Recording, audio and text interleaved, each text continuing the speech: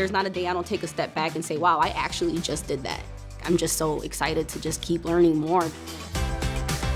Somewhere where you can really grow with your career. If you have the drive and they see the potential, you can go up as high as you want. I highly advise seeing where it goes, seeing what opportunities present themselves for you now and in the future. Jump on. Jump on board now.